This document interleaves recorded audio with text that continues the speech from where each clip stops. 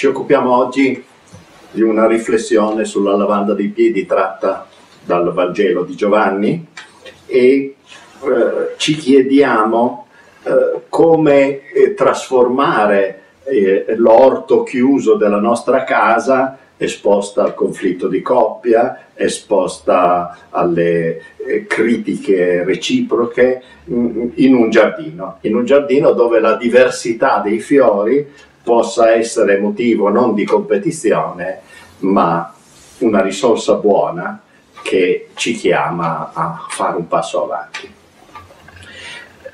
Ecco, vorremmo partire da un'accezione molto comune del lavare i piedi. Eh? Quante volte ciascuno di noi ha preteso di lavare i piedi all'altro, cioè nella traduzione spontanea che ci può venire in mente è eh, correggere i difetti dell'altro. Eh? Eh, io ricordo una volta mia sorella che diceva ho fatto uno shampoo a mio marito per dire aveva fatto non solo il lavaggio dei piedi ma della testa e se era possibile anche tutti i bagni. Il, cioè, eh, ecco, co- correggere, questa è l'accezione comune del lavare i piedi all'altro, è una correzione fraterna anche un po' pepata. Eh, però chi intende così la lavanda dei piedi sostanzialmente si mette un gradino più in alto. Eh? Vuol fare come il maestro, il quale però tra l'altro ci ha chiesto di lavarci i piedi reciprocamente, eh? ma credendo di avere poi magari anche il diritto alla gratitudine, eh? Eh, perché siamo ben capaci di distorcere il significato ultimo della, della parola. Ti lavi i piedi, ti correggo i tuoi difetti e non mi ringrazi neanche? Vedo i tuoi piedi impolverati, stanchi e magari con qualche piaga, lasciateli lavare da me. Certo, forse le intenzioni sono buone, ma forse sto dimenticando qualcosa. Sto dimenticando che ancora prima di lavarti i piedi, forse dovrei ringraziarti che i piedi li hai e che quei piedi ti hanno portato fino a me.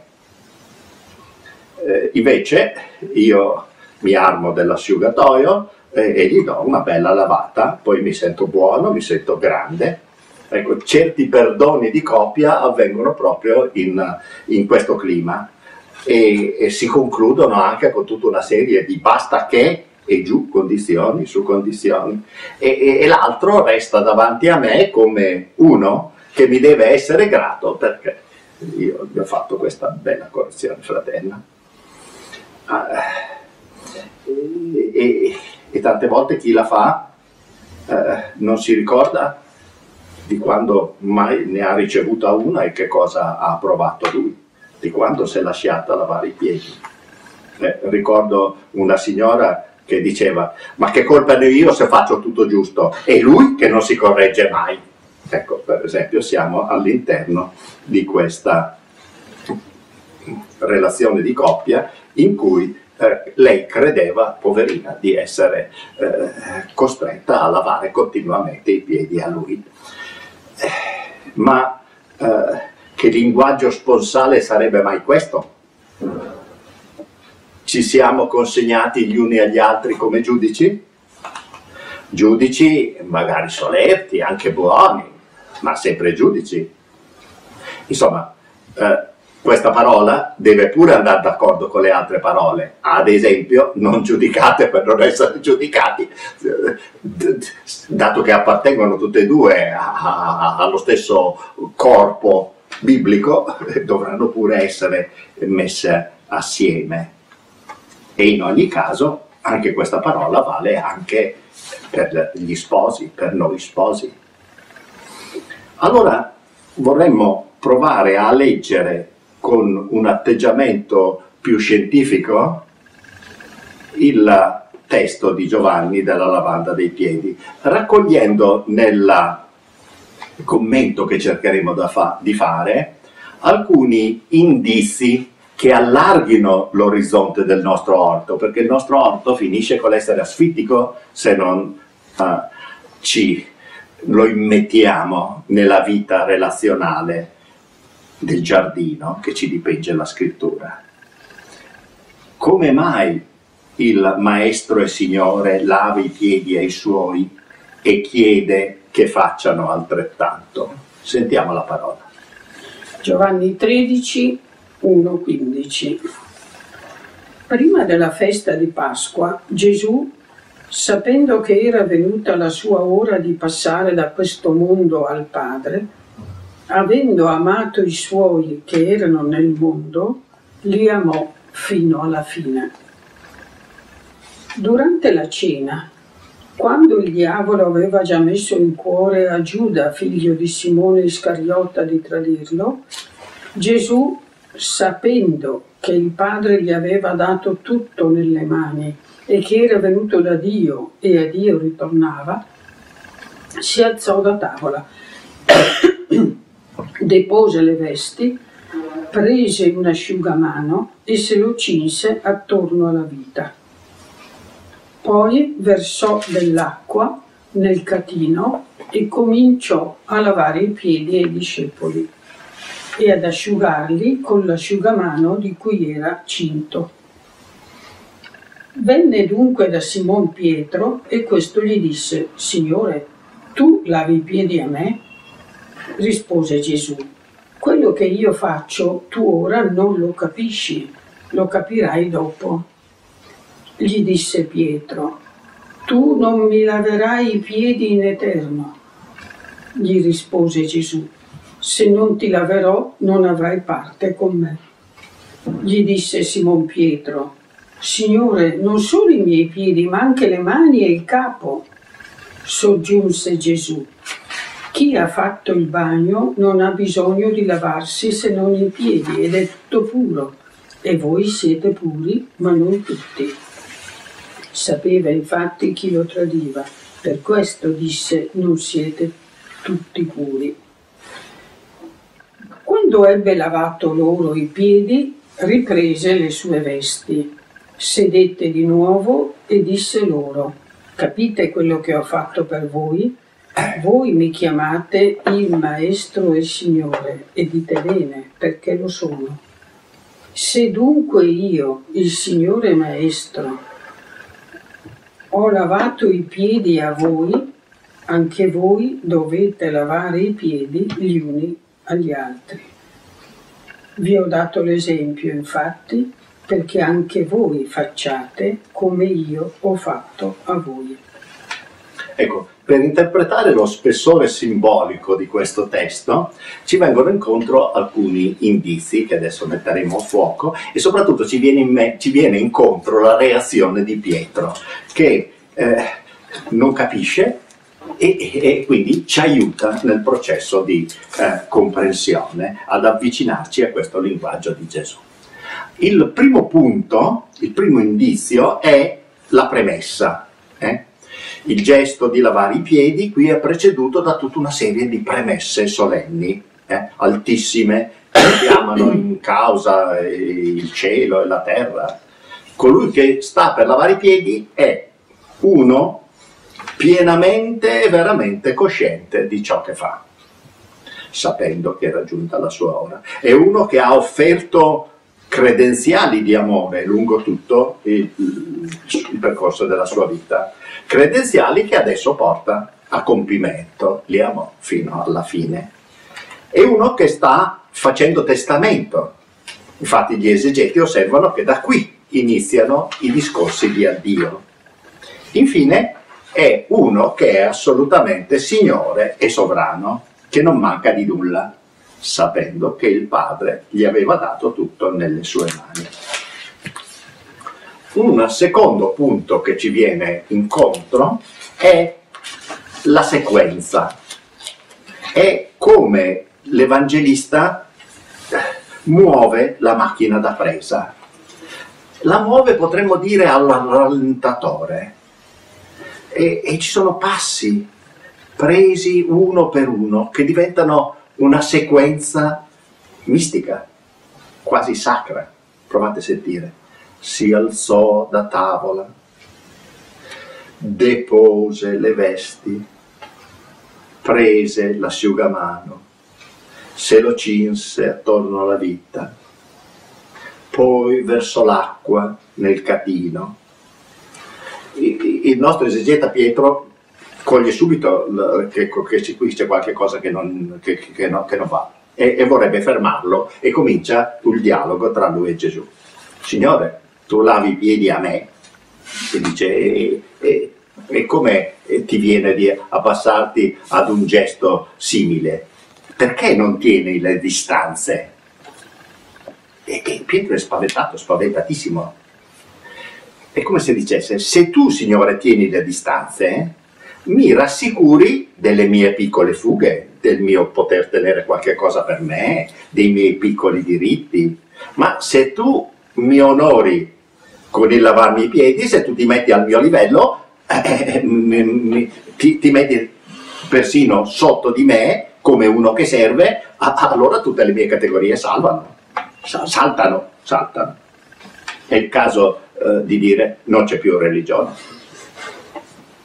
Infatti, eh, quando un invitato importante arrivava in una casa in Palestina e aveva percorso le strade polverose della Palestina, un servo, e non certo il padrone, gli lavava i piedi come, come gesto di onore che significava l'importanza e la dignità dell'ospite. Quindi Pietro è legittimamente sconvolto. Nel dialogo però Gesù gli dà una risposta che manda in confusione ancora di più Pietro. Se non ti laverò, non avrai parte con me. Allora Pietro ci aiuta, eh? ci aiuta perché capisce male e eh, perché anche noi capiremo male così. E, e anzi, credendo di aver capito, sembra sollevato. Ah, dice Pietro, ho capito, stai facendo un rituale di purificazione per renderci degni di stare con te a tavola. Guarda, beh, allora se è un rituale di purificazione, lavami pure anche il capo, la testa, tutto quello che ti pare, perché io a tavola con te ci voglio stare. Ma Gesù, Nisma, aggiunge qualche cosa di misterioso. Chi ha fatto il bagno non ha bisogno di lavarsi ci sono degli esegeti qui che dicono che eh, lavarsi se non i piedi a, non appare in tutti i manoscritti eh, e quindi in ogni caso però il significato di questa roba è, è abbastanza chiaro. Non è questione di igiene, non è questione di pulizia, non è questione nemmeno di purificazione. Tant'è vero che lui dice voi siete già mondi, ma non tutti. Allora, a questo punto non ci resta che essere spiazzati e confusi come Pietro. Mondi non significa certamente impeccabili, senza difetto, senza peccato. Quelli a cui lui lava i piedi fra poco lo abbandoneranno. Ma allora qual è il significato di questo gesto di Gesù? così con questa premessa, con queste azioni al rallentatore, così eh, eh, fragoroso nel lasciare stupiti tutti quelli che l'ascoltano.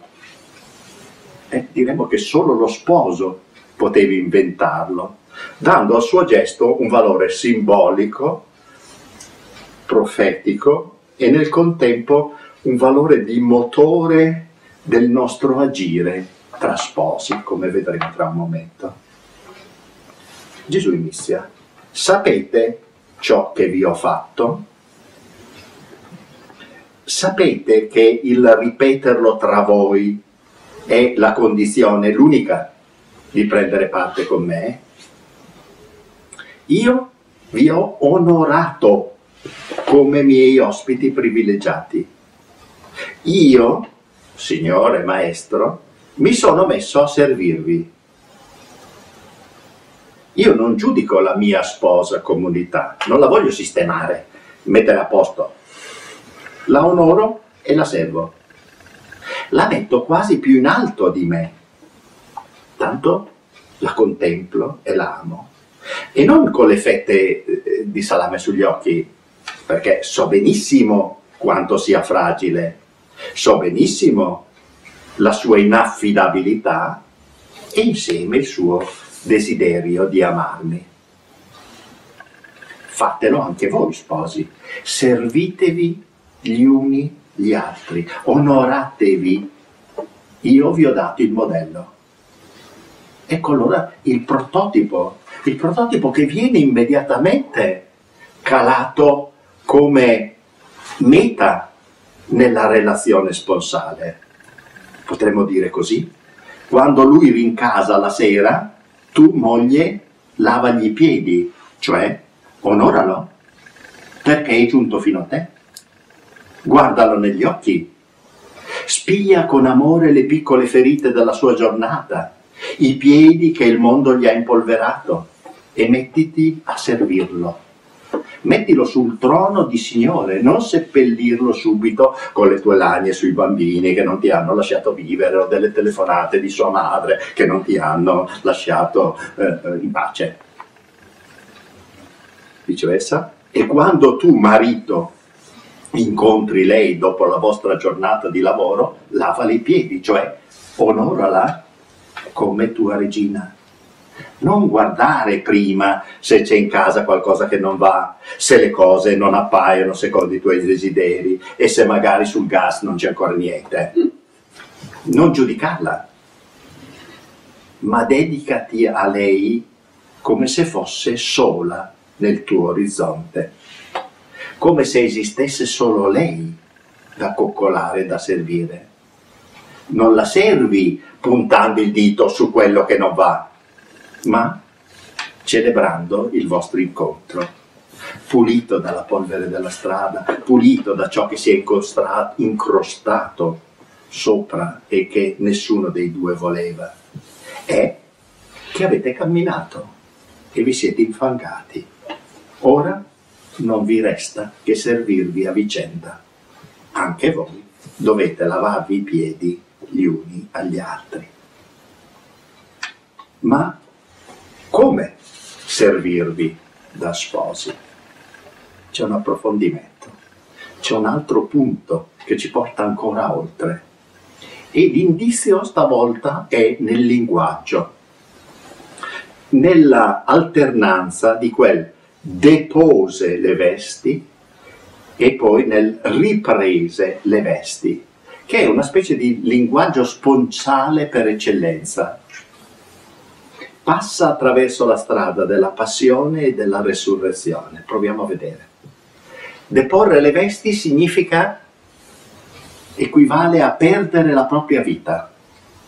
Perderla non a parole eh, né con le belle intenzioni, ma perderla con un semplice vieni prima tu, che è la cifra della nuzialità.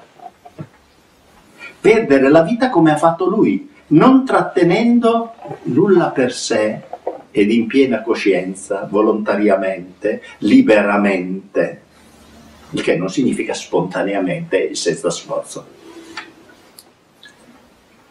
Solo chi perderà la propria vita la ritroverà ma la ritroverà nuova e moltiplicata.